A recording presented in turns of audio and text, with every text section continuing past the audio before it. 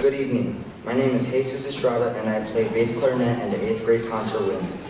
Before we, begin, before we begin our portion of the concert, we would like to congratulate the concert bands on their performances tonight.